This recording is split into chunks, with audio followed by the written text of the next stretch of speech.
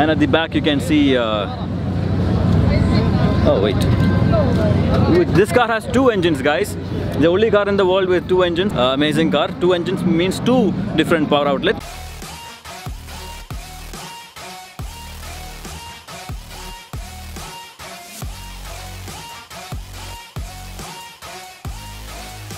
There's a big reason why I made that. Because I wanted to inform, I wanted to convey this message to people like anyone who talks about cars doesn't have to be a car person. See, being a car person is a respectful, prestigious thing. Someone like you who spent almost a good period of his life into cars in the oil, like you smell like oil of the car more than you smell of perfume, right?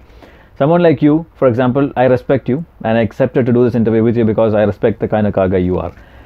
So, if someone who doesn't have his hand dirty, who hasn't changed a nut or a bolt in his life, comes to talk about engines, comes to talk about car bodies and frames and makes and brands, and doesn't know anything when I ask a question.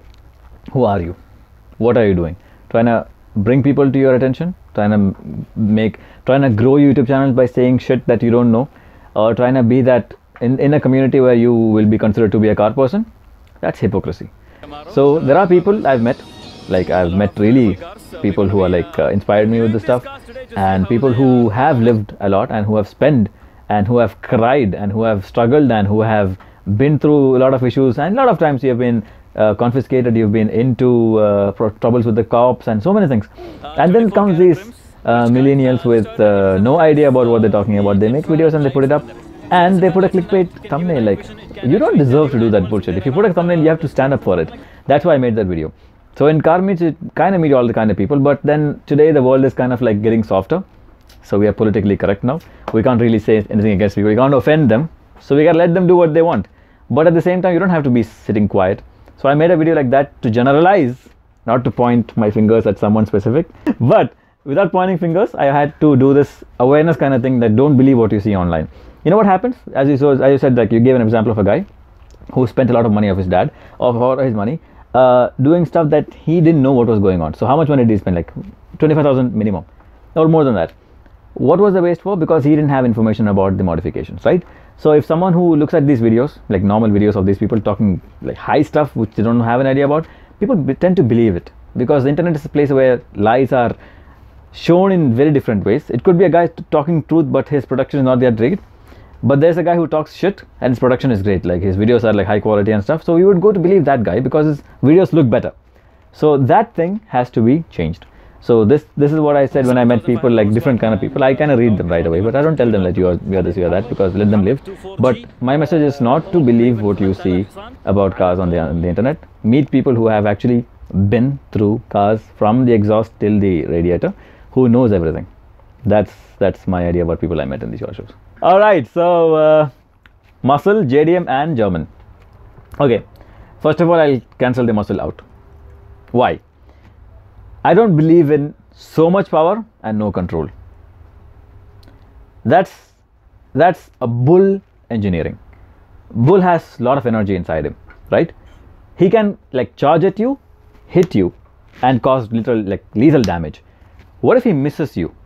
He'll go hit a wall and he'll die, right?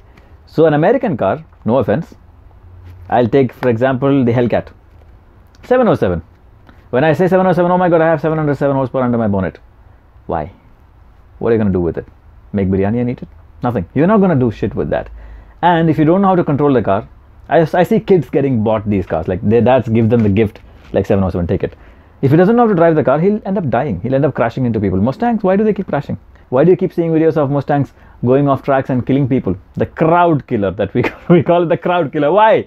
Because the car has been given so much power the americans they think like you know putting so much power into it is like their that's the thing. So uh, you can do it for drifting. It's good car. You can do power slides and that. That's good.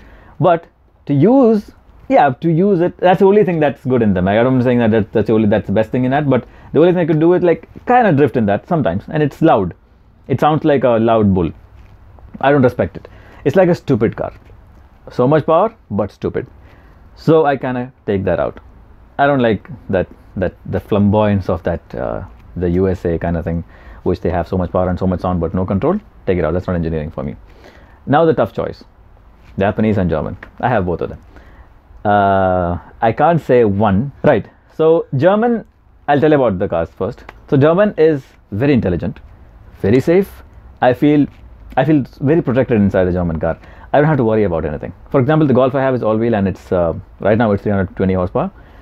I wouldn't mind taking an exit at 120, a tight exit. I would take it at 120 because I know the car will hold it because that's the kind of traction it has. You can't take an exit at 80 in a Mustang, you'll die. You know that. Everyone knows that. So I have reliability about my life protection because it's an important thing.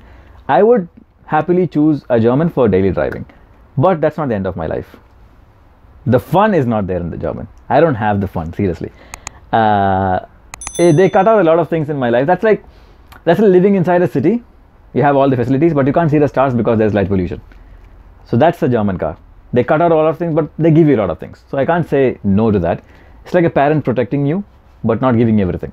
A Japanese is like a spoilt mom, a mother that is rich and gives you every kind of fun.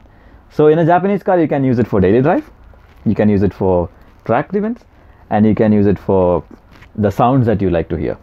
So looking at all of those, I think I'll go for JDM because JDM is where I started my passion. It was in German.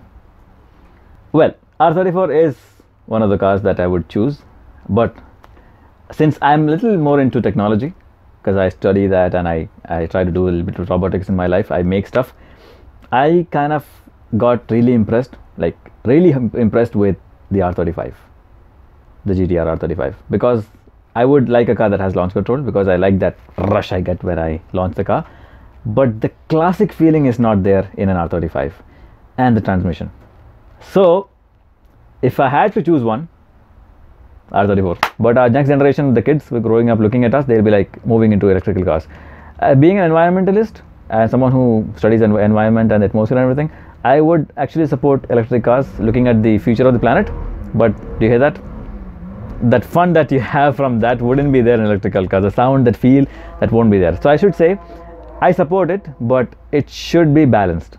It shouldn't be like complete revolution of the industry of the car machines. It should be a fine balance between petrol combustion and electric cars. Hybrid is a good idea, but hybrid is kind of expensive for people to own.